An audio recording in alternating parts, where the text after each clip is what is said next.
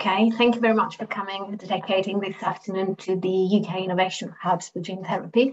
Uh, I'm Nicoletta Charolidi. I am um, the Deputy Director of UK Advanced Therapy. Sorry, this is a very new title for me because I'm deputizing today for Francesca Grubig, who couldn't, the Director of UK Advanced Therapies, who couldn't be here with us today.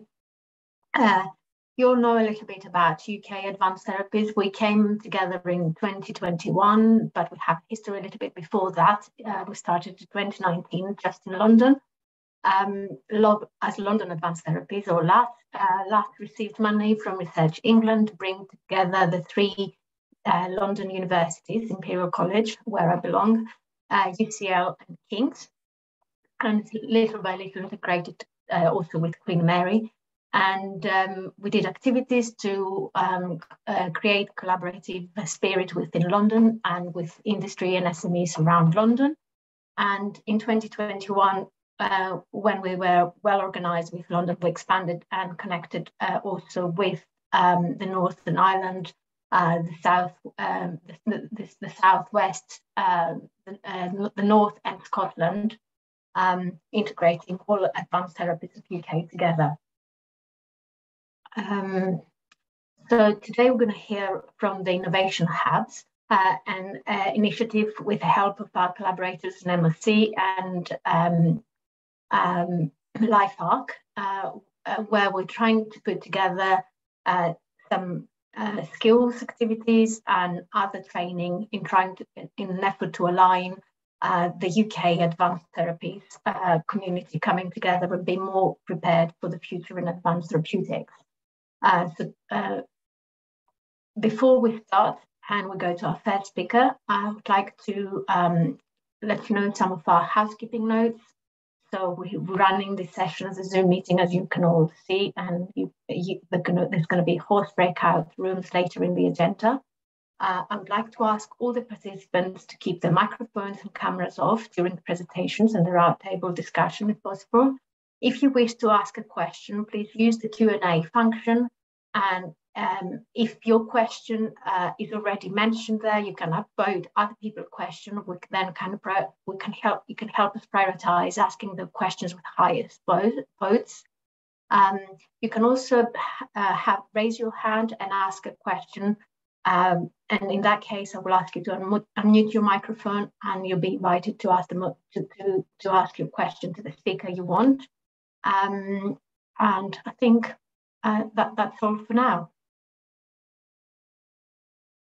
Uh, so can I just then move to the first speaker uh, who will present from the Innovation Hub, Qasim, Professor Qasim Rafiq, uh, um, who's going to use um, his presentation. Um, are you ready to upload your presentation, Qasim? Yeah. Thank I am much. indeed. Is, it, is that sharing? Sorry? Is that sharing on the screen, my presentation? Yes, I can see your presentation. So yeah, Professor Rafiq is an associate professor in cell and gene therapy, uh, bioprocess engineering at the University College London, and he's the skills lead for the London Innovation Hub. Um, so uh, also Professor Rafiq sits at the cutting edge intersection between biology, chemistry and engineering with a focus on biomanufacture and of the very latest advanced therapeutics, including, including regenerative uh, cellular and gene-based uh, uh, therapies. Okay, so I'll just hand Fantastic. over to you. Yeah. Thank you very much, Nicoletta. Many thanks for that introduction, and uh, many thanks to all of our delegates and participants uh, for joining uh, this webinar today. Uh, we've got an action-packed session, and really, I think it provides us with the opportunity to really discuss and engage on a topic which I think all of us have a passion for and which we all recognize is a major challenge for the advanced therapy sector, including cell and gene therapies moving forward. And delighted to be able to share some of the work that we've done within the innovation uh, for gene in innovation hubs for gene therapies around the skills development. Uh, so just to give a quick overview as to what we're covering today. Uh, so as part of the webinar, um, I'll be delivering a presentation no more than about 15 minutes, just to give an overview of the work that we're doing within the innovation hubs for gene therapy around skills and training uh, and discussing the strategy how we've developed that strategy and how we've communicated and worked with the with the community to develop that strategy um, and what our plans are moving forward we then want to move into a roundtable expert discussion, and we'd love to have your input. We want to have, you know, you putting your questions forward to the panel, where we're going to have a discussion around uh, the challenge of skills and so on across the sector. Before we then move into breakout rooms uh, at about 4:50, where we then want to kind of have more individual feedback, both based on the strategy, but also your comments, thoughts, and suggestions on what things should be what we should be focused on, what should we what should we be targeting? Because although we've undertaken a survey and a strategy, as I'll discuss, what we'd very much like to do is continue this engagement and feedback process. It doesn't stop at the end of the publication of our report. As you'll see, it's an ongoing live discussion, and that's something we'd very much like to engage the community on. Uh, and then we look to try and close the event at about quarter past five. So uh, let me kick off by giving a brief overview of the innovation hubs for gene therapies. And I'm sure many of you will be familiar with the innovation hubs for gene therapies, and, and there's a webinar uh, where we can share the link that has, you know, in great depth and great length, uh, explain the purpose, the scope, the objectives, um, and the composition of these gene therapy hubs. Um, so we'll make sure that a copy of that link is sent out after the meeting but we also, I thought it'd be important to give a brief overview for those of you that aren't perhaps as familiar. So the innovation hubs for gene therapies were originally funded about two years ago now um, by the MRC, the Medical Research Council, uh, by LifeArc, and the BBSRC. And the idea was to create a UK network of academic manufacturing innovation centers within the gene therapy sector, primarily looking at AAV and lentiviral GMP production. So manufacturing centers to support, in particular, preclinical and early stage academic clinical projects. And I think the rationale very much being, and I recognize this being an academic myself, is that often when you're trying to secure funding to generate your next innovative gene therapies, most of that funding you secure would often go overseas to different manufacturing companies, particularly over in the US or elsewhere, to get GMP vector. And it was fantastic to see this initiative emerge from the MRC and from LifeArc and the BBSRC to actually recognize there was a need to maintain that capability within the UK to support the academic cell and gene therapy sector, which is the heartbeat of much of the clinical innovation that we see and innovation within the gene therapy space. So that's kind of a brief overview. The focus is very much on lentivirus, AAV, and lots of translational support with a focus exclusively on manufacture and process development. But a core part of that, and obviously the focus of this webinar today, is on the training and skills requirements. Uh, and we'll discuss that in a bit more detail. The final thing to mention is the composition of the hub. So there's three hubs, what we call the London hub, which is led by King's College London and involves uh, the Royal Free Hospital and UCL. Uh, there's the Bristol hub, which is led by NHS Blood and Transplant uh, uh, Services over in Filton, and then the University of Sheffield or the Sheffield hub. And they all have slightly different focuses, but uh, but much of it is very complementary and synergistic, and that's very much the case with the skills and training strategy. So, touching on that uh, skills and training strategy, you can access the link. And we've just published a report. And really, the, the purpose of this webinar was to disseminate some of the key findings from that report and really to start to disseminate the work that we plan to do and how we want to engage with the community moving forward and how we want to build the sector. So before any, you know, before undertaking any kind of long-term strategic plan, we realized it was it was critical to be able to consult with the community. We recognize that it's one thing us having our own ideas about what skills are needed, but ultimately we need to be able to engage those who are working in on the factory floor, so to speak, those who are working in industry, those who are working in the clinic, and those who are working within the academic sectors as well. And more broadly than that, you know, we wanted to involve the work and expertise of consultants as well as regulators. So one of the things we undertook as part of the initial um, strategy for our uh, training and skills agenda was to canvas experts within the cell and gene therapy field, particularly in the gene therapy side, and looking at how we can focus and address some of the manufacturing challenges. And there were three purposes to this survey that we undertook. The first was to understand what is required with regards to skills and, and needs, provide some initial feedback on some of our early plans, and we've actually adapted some of our early plans based on the feedback that we've received. And to really start this idea of thinking, well, we know what the training needs are now, but what are the training needs in five years or 10 years? That's the long term vision that we want to have, not just for the hubs, but for the sector as a whole. So, as part of this, um, the hubs work together to identify key individuals across the sector. And we held, held um, a number of interviews between November 2022 through to March 2023. In total, uh, I think we sent out a number of, uh, of invites, and, and we were delighted that we actually had uh, a great response from both academic and industry experts. And again, a good mix of both uh, academics from different disciplines, covering different perspectives, the fundamental bioscience, as well as some of the clinical aspects and the more translational aspects. And likewise in industry, we had a range of uh, industrial colleagues, partners who were able to provide some input into the actual survey itself. So we feel that although you know we certainly could have canvassed wider and we'd love to continue that conversation, hence part of the, the, the webinar later today is getting more input and feedback. So for us, the conversation doesn't end, but I think we've got a very good understanding of where things currently are and where we'd like to be. And fundamentally, what we wanted to do with this uh, skills survey was try and highlight what should the remit of the hubs be in terms of their training and skills agenda and how do we ensure that it's complementary to many of the other fantastic initiatives that are currently ongoing? So for example the work that the catapults are doing around for example the apprenticeship scheme or the advanced therapy skills training network and and also company specific training as well. How does it how does it align with things like the bia for example and their training and skills agenda to ensure that we're not reinventing the wheel and we're not stepping on any toes, but actually we're providing something of value to the sector.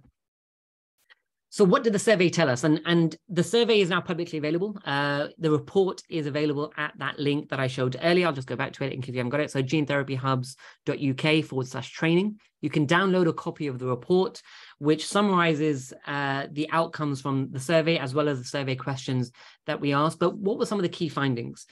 Well, it definitely highlighted need for training in specific areas. And that's really what we wanted to get to. We wanted to get some granular detail.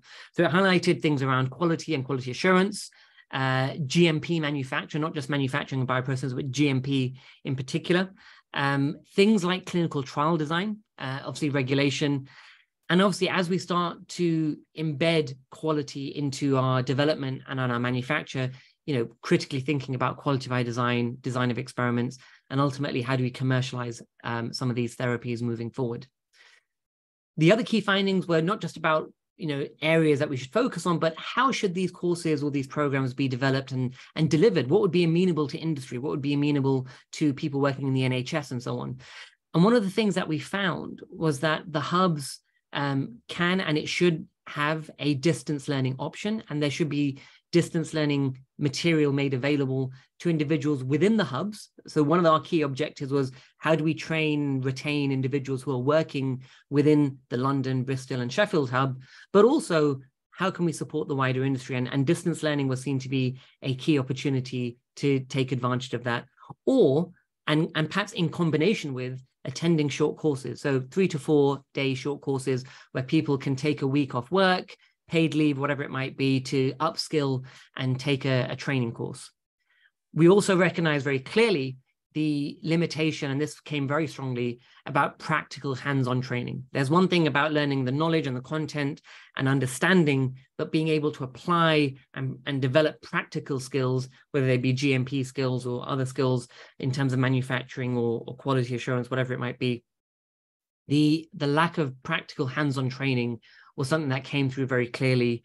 And, and it started to raise a question to us about do we start to think about offering placements to both our hub employees, but also those external to the hub as well. And then also we recognize that actually as the technology, the teaching and learning technologies improve, we should start to embrace these. So, for example, the idea of using virtual reality headsets and so on, especially where we can perhaps uh, design, and, and there's been some fantastic work by a number of companies within this space to look at mimicking a GMP clean room and being able to work in a virtual reality environment. So how do we integrate some of those technologies as well? And then finally, as I mentioned, what are the future skills that might be needed both over the next two to five years, but also five to 10 years? And there was lots of comments about things around artificial intelligence, digitalization, machine learning, and ultimately big data. And so this is where I think probably the amalgamation of the report comes down to this single figure. And I'd like to thank my colleagues who've been working very hard to create and work on this report and put together this key figure, which, which really captures the essence of what we want to do as part of the hub based on the feedback that we received in the survey. Ultimately, what is going to be our training strategy? Now, the first thing I want to highlight is we've deliberately outlined some of the other training courses and activities and organizations that are delivering training in this space because we don't see ourselves operating in a silo or a bubble. It's very much in line with and complementary with many of the existing activities but also we wanted to make clear that we were hopefully adding value with actual tangible outcomes and programs and sources and so on. And so I'll start very quickly and I'll just run through some of the key activities. One of the identify one of the opportunities we realized, particularly with the London and Sheffield hubs, which are connected to universities. So UCL King's College uh, for the London hub and University of Sheffield uh, with the Sheffield hub was the opportunity to create bespoke training programs. So many of you may be familiar with the program that we run at UCL in the manufacture and commercialization of stem cell and gene therapies. And whilst I think that's been very important for the sector, that is it currently a one year full time program. As part of this hub, what we're doing is we're creating um, a distance learning two year part time program to take that same program, which has you know been very important for the sector, but now make it more accessible and more amenable to those working in industry and importantly, those working within our hubs. And likewise, colleagues at Sheffield are also launching their own course. Likewise, we've identified the opportunity for MSc research project placements, but ultimately we realized much of it was going to be around distance learning, online self-paced, academic placements, accredited short courses, developing a series of seminars, webinars, workshops, and events, and ultimately integrating this with the wider activity across the sector.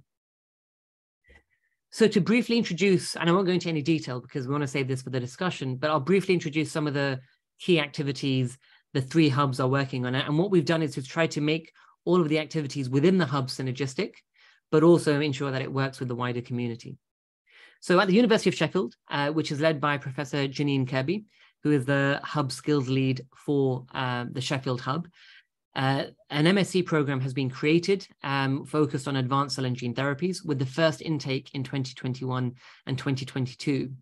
And delighted that the MRC and, and the funders have been able to arrange bursaries for the network to take on two home students where 50% of the home fees are covered per year.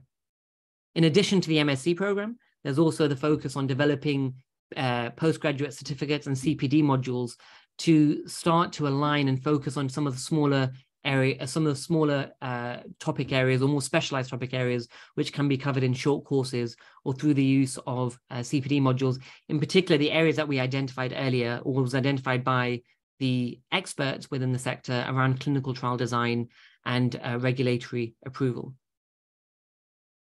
Likewise, um, at the Bristol Hub, which is led by the NHS Blood and Transplant Centre, uh, the focus for their skills and training activity has been very much focused on developing practical sessions for new and existing staff. In addition to that, creating some online learning materials for healthcare and academic workers. Uh, and these include e-learning modules, which are part of the NHS uh, BT Learning Zone. Looking at creating uh, bespoke training programs for staff within the hubs, and some of that learning can be extended to those connected to the hubs as well in addition to hosting some of the apprentices, and, and this is where we want to try and connect with existing schemes such as ATAC, the Advanced Therapy Apprenticeship Scheme. Um, how do we host apprentices within the hubs, as well as developing online taught programs for lean GMP manufacturing? And as you'll see in the, in, in the work that we're doing in London, creating a single portal for all of this online material, regardless of whichever hub is producing this, to support and deliver that and have it in a centralized location. And then finally, uh, the work that we're doing within the London hub. So this is the hub that's led by King's College and involves the Royal Free Hospital and UCL. I think there's a number of things that we're all doing, but the key activities are very much how do we create and develop that a two-year part-time distance learning MSc program so that it can be used as a mechanism to retain and upskill staff both in industry and within the hubs. And the focus of that MSc program is very much on the manufacture and commercialization of advanced cell and gene therapies, creating online uh, and interactive learning modules. So we've actually created much of the content already, and we're going to start to showcase this out and roll this out over the coming weeks and months, focusing, and each module is about 40 minutes to an hour, where it goes through lectures, questions, and material focused on a range of topics ranging from bioreactors and bioprocessing through to Lean Six Sigma and quality by design, through to GMP manufacturing and so on and so forth. So really trying to identify some of those key areas um, that were that were recognized by the experts as being areas that needed development. We've also created and launched a short uh, course, uh, a cell and gene therapy bioprocessing course, uh, which ran earlier this year in March 2022, 2023. Uh, that ran online. And next year we plan to run it in person. We've had some fantastic feedback on that program. We had, and we have some amazing expert speakers from industry and beyond who present on that course. And it's really a crash course in cell and gene therapy bioprocessing. And again, the idea is to support the hub members, but also external uh, partners. And then finally, something that we feel is important for public dissemination, but also to bring abstract concepts to reality are these professional animation videos, which focus on things around gene editing, uh, CRISPR-Cas9, as well as um, the idea of CAR gene therapies and lentiviral vector transduction, just to bring some abstract concepts to reality. So finally, and, and just to wrap up, the network itself is very much focused on not just the manufacturing capability and, and addressing the gap that we have in the UK in accessible GMP viral vectors, but also how do we address the infrastructure to support that? And how do we critically address the skills gap, which you all recognize is a major issue? Each member of the, the, the hub and within the, the network skills and training group brings a huge amount of expertise and knowledge and, and ultimately complementary knowledge. Um, and that's really key to see as part of the training offering. And as I said, we're trying to create an online program that will, will be with content from a range of partners that will be delivered to the hub members and beyond, and ultimately create a range of training opportunities. In the first instance, we'll, the plan is for the hub users, uh, sorry, for, for the hub members themselves, but to extend that to others, particularly with the, the emergence of the MSc programs and some of the workshops as well. So with that, I'm delighted to have been able to present that. I'd like to thank all of my colleagues at the various hubs, uh, and in particular Sophie, who's been instrumental in putting all of this together and, uh, and making sure that we've been able to deliver not just on the strategy, but also supporting uh, the delivery of the skills agenda. And I think now we're going to go straight into the panel, if I'm not mistaken, but there'll be plenty of time for questions and discussions as we go into the breakout rooms a bit later. But I'll hand it back to Nicoletta. Thank you very much. Thank you, Qasim. Thank you very much for this uh, excellent overview of the activities uh, that the innovation hubs are undertaking. Uh, yes, it's time running. So can I just quickly ask all the panelists are taking part in the roundtable discussions to put the cameras on, please?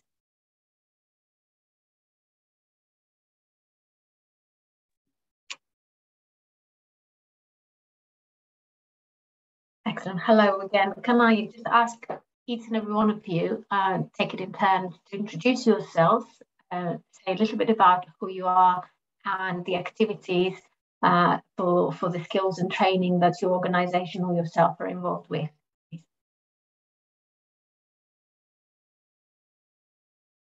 Shall I just maybe ask, start from Uta? Thank you, Uta. For me to start, okay, hello everybody. My name is Uta Griesenbach. I'm a professor of molecular medicine at Imperial College and have been working in advanced therapeutics for probably 30 years or so. Um, I'm also a non-executive uh, director of the Cell and Gene Therapy Catapult, and I chair the Innovation Hub um, Skill and Training Committee. Thank you, Uta. Uh, Anji? Hi, I'm Anji Miller. I'm um, the skills lead, the LifeArc skills lead for the innovation hubs for gene therapy and also a senior business manager at LifeArc.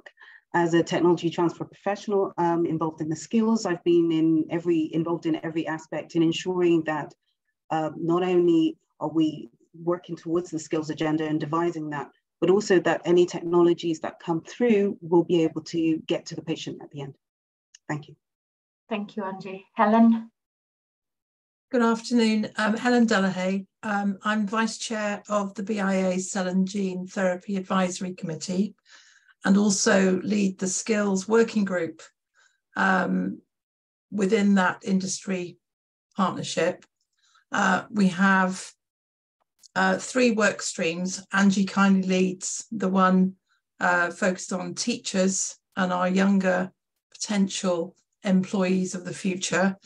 Um, and then we have uh, Diana Hernandez from Anthony Nolan, um, who um, looks after the undergraduate group.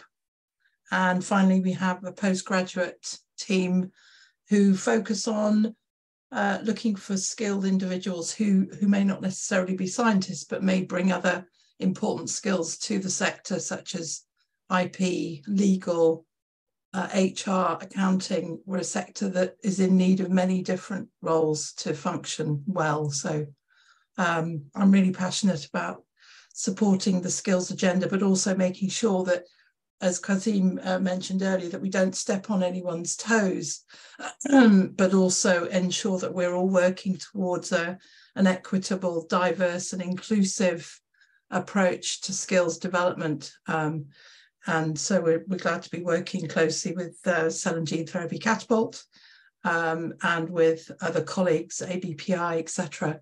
It's important that we do all work together uh, to increase the number of people coming into the sector. Thank you. Thank you, Helen. Uh, Rafael?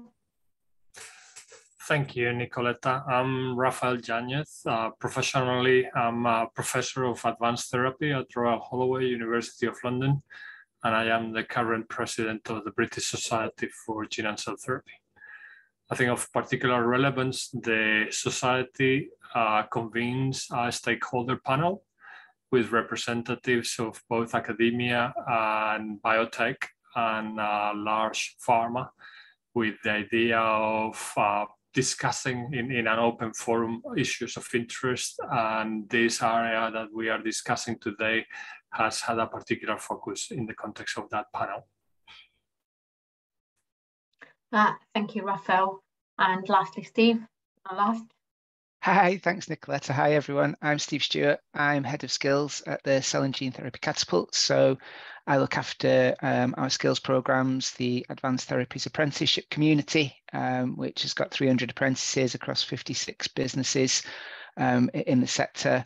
Um, I also look after the ATSTN program, Advanced Therapies Skills Training Network. Um, within that, we've got an online training platform with over 2,000 users. Um, and we also coordinate uh, uh, uh, three national training centres, um, which uh, are focused on short face-to-face skills courses uh, across the UK. So absolutely echo um, what Helen said. I think collaboration's really, really key to this, and I'm really looking forward to see how we can work together and, and support each other. Excellent, thank you very much. Um, to, to, to, just get the discussion going, I realize how much going on. Uh, you all seem un unstoppable in terms of skill and activities uh, undertaken at the moment, but uh, just to let us know what any of you in the panel, what would you uh, identify as um, the area of greatest need for the UK advanced therapy sector with respect to training and skills development?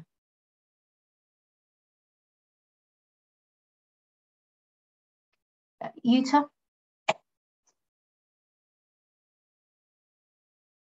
Uta, you're mute let me try this again. Um, I, I, think it's a it's a very broad question and very difficult to answer because I think many areas are equally important. You have, you know, the manufacturing and bioprocessing. You have regulators. You have NHS staff that needs training, you know, to deliver the um, licensed medicines and conduct the clinical trials. Um, and, and you need the sort of postdoc and academic pipeline, you know, to bring through talents. So, so, so in my view, they're equally important and I think need to be taken equally serious and need to be funded, you know, to get developed and, and to get off the ground. Thank you. So anyone else wants to add anything on this question from the panel? Ellen, Anji? Yeah, I, I, I echo Uta's, um, Uta's sentiment. Not only is it um, basically those that have to, for example, process development, but also um, one thing that came up with some of the discussions is also those who, for example, the healthcare professionals who need to deliver the advanced therapies. That's going to be an issue as well. But what we've also seen is that there's a shortage of those pro providing training. So actually training those that are coming through. Not only do we have a skill shortage, but also um, a shortage of those who can provide the training to, to train those because we have more positions than we have individuals. But this is something that we know is going to grow with, with the, the community anyway. Mm -hmm. Okay. Um, I'll ask another question. I don't have any. Rafa, Rafael's hand is up. I don't know. Sorry, I couldn't see. Rafael, sorry.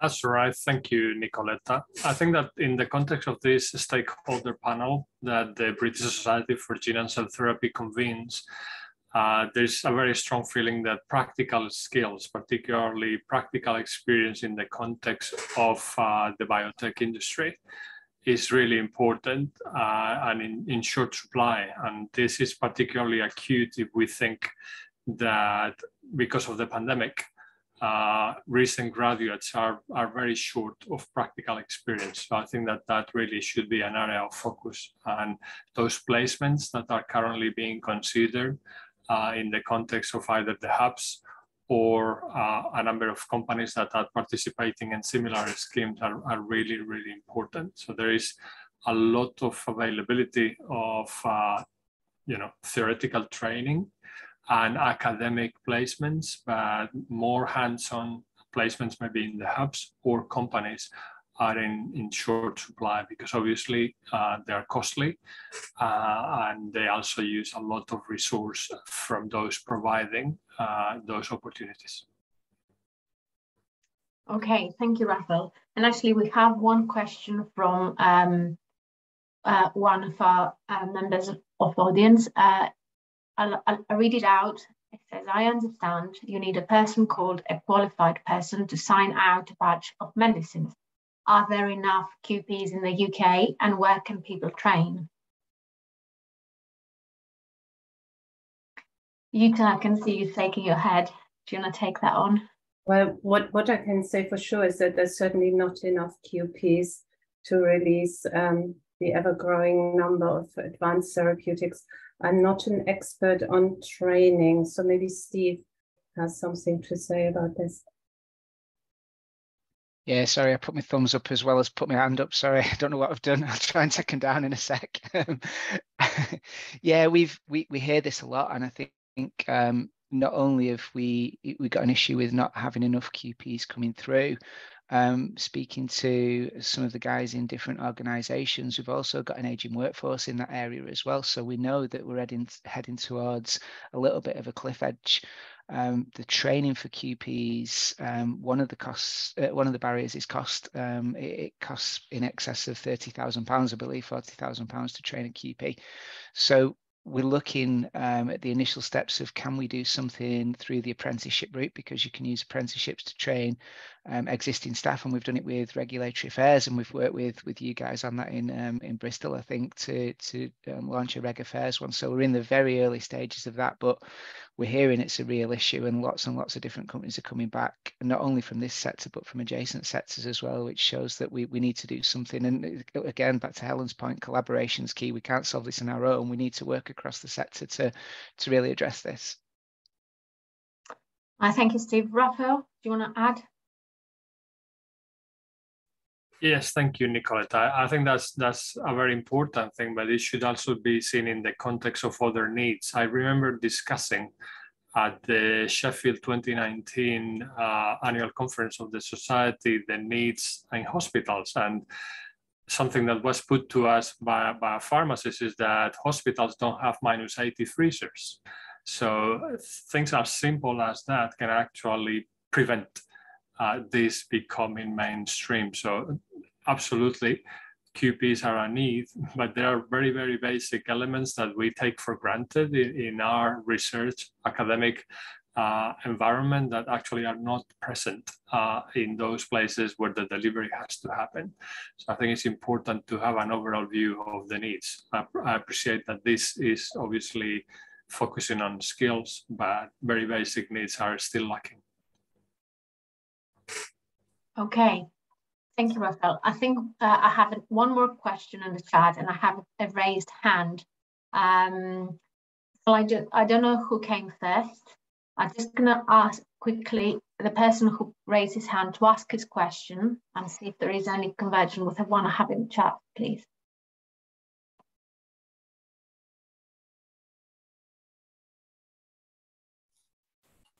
Hi, sorry, it's uh, it's Mike from the Sheffield Hub. I'm the QA manager. It was in relation to the QP. It's something I've looked at quite extensively for the last year, and there is a whole host of prerequis- prerequisites that are required to even start the QP training. Um, I do think the hubs will provide a really good environment for that to to allow personal development and to allow you to tick off some of the boxes for the uh, study guide that's required. The the courses are expensive, but I have looked into one at UCL that UCL do, and it's a, a postgraduate diploma or master's, and it it covers all the study guide requirements for QP training, and part of the course is to actually complete your your application form. That's essentially the course material.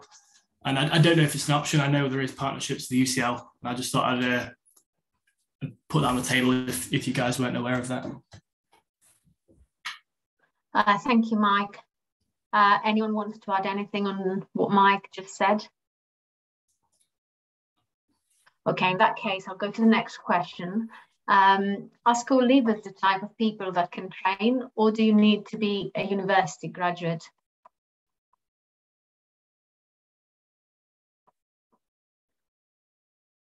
Who wants to take on this one? Steve?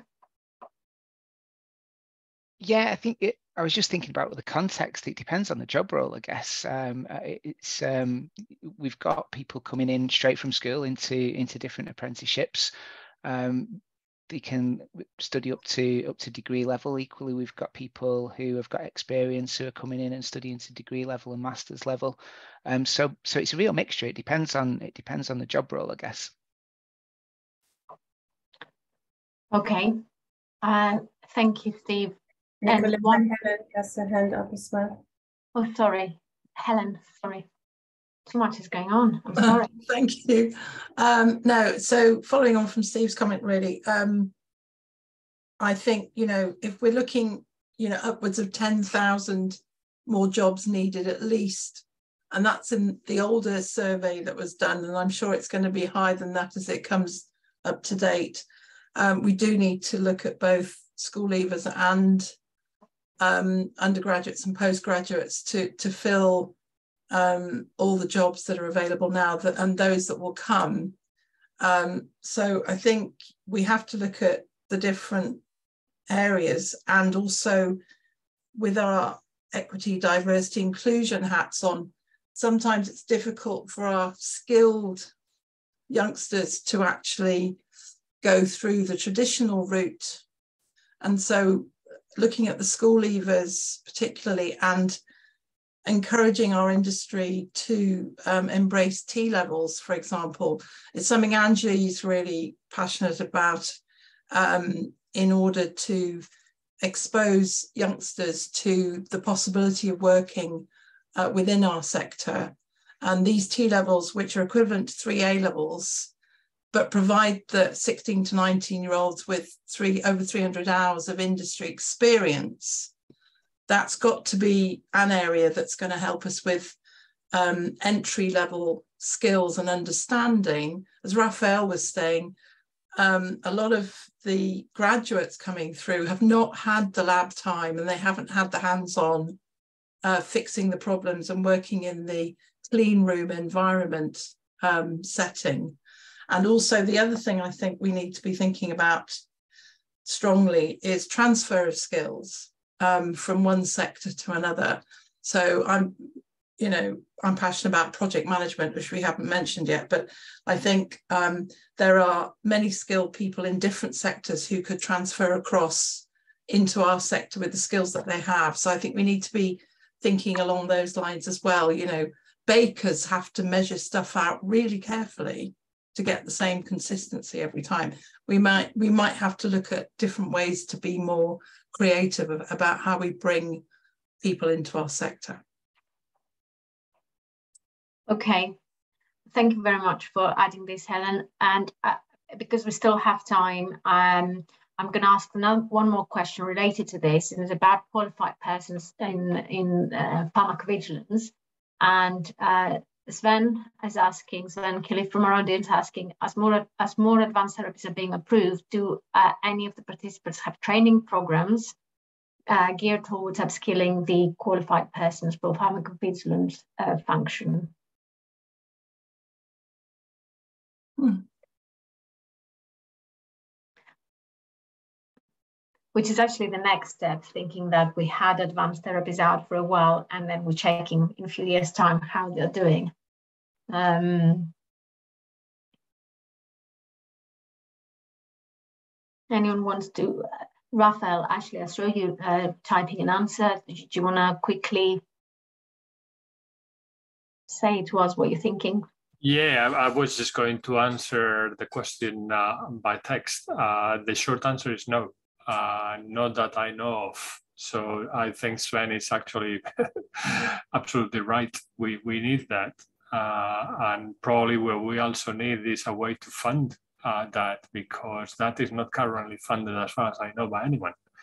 And if you have, if you want to have studies 5, 10, 15 years post treatment, that has to be funded somewhere and just to add on this, the, the innovation hubs are looking into uh, supplying the um, advanced therapeutics coming out in the market. I think pharmacovigilance lies um, so far traditionally with MHRA. Um, and maybe that's where the uh, uh, um, specific field for advanced therapeutic and pharmacovigilance, something is uh, considered and provided by MHRA, Uta. I think in the context of some gene transfer agents, and I'm particularly thinking about integrating lentiviral vectors here, the 15-year pharmacovigilance is actually uh, funded by the sponsor, by the company who, um, you know, who funds the clinical trial. But Rafael is absolutely right. That's not the case for many, many other gene transfer agents. And this, you know, it's a specific case for the integrating lentiviral vectors. So there's clearly a need. Okay, so um, taking a next, is there any other questions on the chat on or the Q&A? I don't see any, so I just keep the, Rafael, sorry, do you want to add something? Yeah, I think it's important. This this issue we are touching on the the funding of the activities. Uh, again, in the context of the stakeholder panel, uh, we have been discussing the need to train particularly UK-based workforce because you know I, I recall Uta saying that at the masters that they run in Imperial, they train loads of overseas people who complete their studies and leave. Uh, so they get excellent training, but but the UK uh, biotech does not really benefit from that. Uh, and obviously, these particularly master's courses are, are costly. Uh, so we need to promote those uh, to UK candidates. And I think that a big part of that is being able to offer bursaries. And we have been discussing in the context of that stakeholder panel whether it would be possible for industry to part fund those. But it's actually complicated uh, because industries have a, a time frame uh, for budgeting that doesn't really match what would be needed for this. So I think that that is a really important consideration. We are identifying a lot of needs, but we also have to allocate budget so those needs can be met. Otherwise, just we won't get there. Anji, you want to add to this?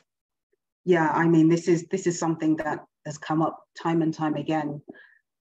Postgraduate courses are not well supported for UK applicants. There aren't, there isn't like a there aren't that many pools of funding. So in the advanced therapy space where the chances are you it's very specialized, you are going to need additional training. There needs to be some mechanism of actually supporting UK applicants. The reason why there's such a huge number of um, overseas applicants because you know the training that the courses that are there are accessible for them, but it's not affordable and accessible for UK individuals. Whether you're in in the profession and want to upskill, or you are thinking of entering the profession, so it's a real it's a real pinch point. It's a real barrier.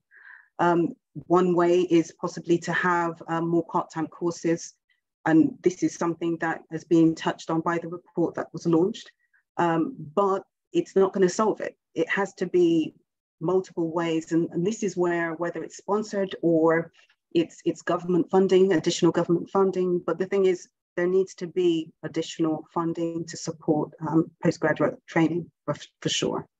This is also an issue, um, as Rafael mentioned before, with placements. I'm an advocate for industrial placements, so the year out in industry a lot will complain and say that, for example, the year is not enough and you don't gain enough skills. But compared to not having anything, I, this is something that is highly valuable. For me, I, I was one who took a year out. It, I used Erasmus. That's not open to us at the moment. But the thing is, it is where I found that the practical experience that year out in industry um, to actually understand why I'm studying science and what it's really like and what it really involves uh, was invaluable for sure. Thank you, Andy. It's, it's a balancing act, really. You want to do a master's and get a better paid job, or you want to go to industry in two years where at the level you will be if you had a master's as well for UK applicants.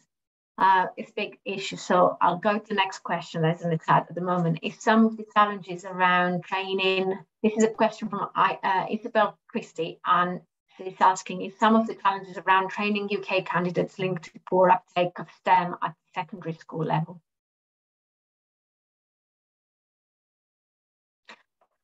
I can see a lot of nodding, Anji.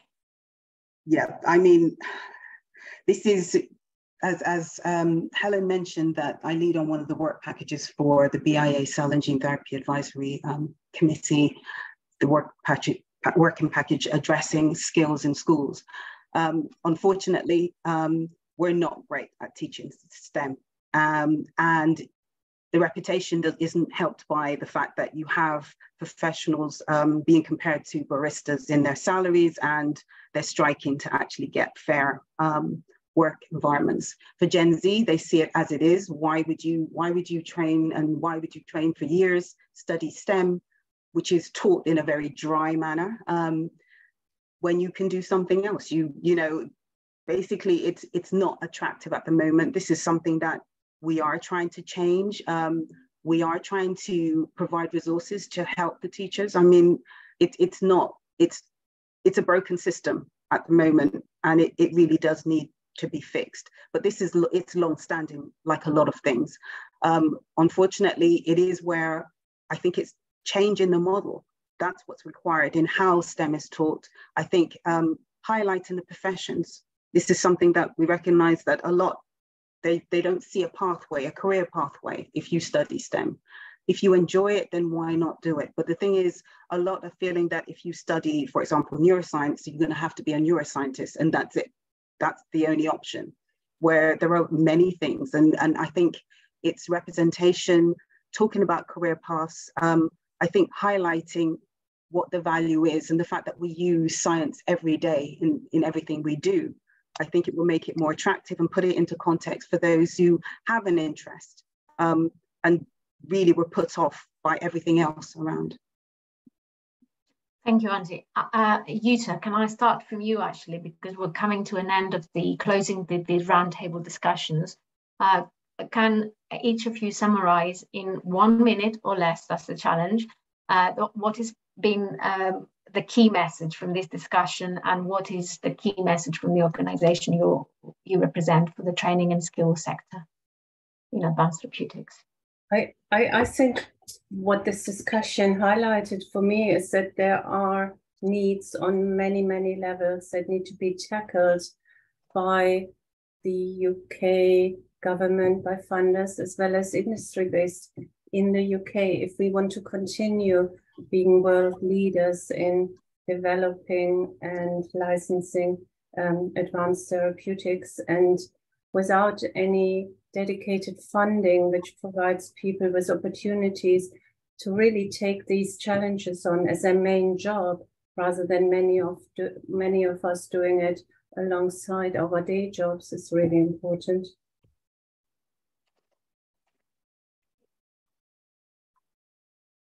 Steve, sorry, I'm going in the order I see you in my screen. Yeah, thanks. Um, I, I think the collaboration, which you mentioned at the start, is key for me. We've got some really, really big challenges out there, and I think the only way we can address them is working together. We've we've got some good programs at the Catapult that I think we can leverage. So the the apprentice program, the online training platform.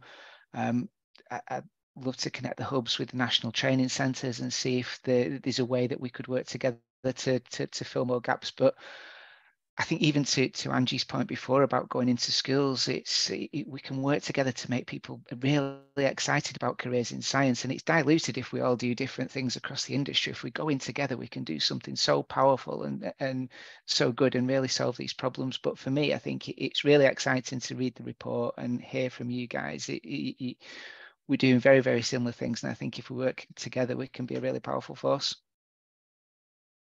Helen. Yeah, I agree. Um, I think we have the opportunity to make a difference. We know we know the system's broken at the moment, and we know that um, our sector and other life sciences sectors and the NHS and and and are in need of that longer view strategy for bringing in the number of people that we need um, within the whole life sciences community. Um, and the more we collaborate together, the better chance we have of um, filling all those different roles and giving all those opportunities to those that want to have a career in the life sciences, whatever guise that that has. Um, but I think um, we have to tackle it every level. Um, we can't just be looking at postgraduates or undergraduates or children. We have to look at the whole thing because we're way behind the curve of the need of the country at the moment. Anji? Without repeating everything that's been said, um, I completely agree. It, it's collaboration is key. I think the positive thing is that we can see where there are gaps and we, we know a lot that can be done. I do think that whoever we need to reach at the higher levels to ensure that there is that, you know, infrastructure and that larger investment that needs to take place. I think we need to ensure that there is a pipeline, not just recognizing, you know, where we can um, get um, individuals to cross over and transition into this sector. I think it's ensuring that there's a pipeline right across the board because this is one sector that we're talking about. There are issues in every sector. And if we're going to be superpower by 2030, I, I think it's going to have to require a lot more than what we're doing at the moment. So it's investment. I think it's being strategic. I think it's all sectors working together. And I think it's right the way from schools, right the way up to those individuals that, you know, who have a lot that can teach others, those who look as though they're going towards retirement, they are invaluable with their knowledge. And I think we need to make sure that we make use of these individuals right across the board. And lastly, but not least, Rafael. Thank you, Nicoletta. I, I think that for me, um, the practical experience is key here, uh, is to make sure that those individuals are competent and they are attractive to, to the biotech community when the time comes. So I think that providing uh, those placements or those uh, hands-on masters, uh, ideally MRESs, is very important and those need to be funded. But I do agree that in the long term, what you need is to ensure that we have young people interested in STEM. And more and more, we, are, we have come to think that even primary school uh, is important, not just secondary school. Very early decisions matter in terms of the choices that those students are going to make. In the context of the British Society, we have prepared a number of hands-on activities, and we have an, an annual event, which is a public education day, essentially directed to schools. So we have the experience to engage both at primary and secondary school level, and we would be delighted to work with any stakeholders who want to do that. And obviously, as the British Society for Gene and Cell Therapy, our aim is to be the umbrella organization who supports the community uh, for the advancement and translation of gene and cell therapies, which is our vision. So we would be delighted to support any initiatives in this area, and we have the experience to do that. Excellent. Thank you very much. Thank you very much to the panelists. What I understand, collaboration is key, is very, very important. And ultimately, I think people love to do what they're good at. And as, long as we keep making them be good at science, we're there. Right, now, uh, okay, we have everyone back. So thank you very much for being part of this uh, evening and learning everything about innovation trainings, innovation hubs for gene uh, therapy are doing. Um, just as a closing, just to say uh, this webinar, it was is part of a series of webinars. And of course, um, in order to, to keep collaborating is the main element of, of, of this effort, but I keep reporting back and learning how the hubs are doing is very important. So it will be a couple of events like this organized a year. So we'll see you again very soon. And just thank you for your input and the vibrant discussions I was able to witness in the breakout rooms. Uh, have a lovely evening, all of you. Thank you.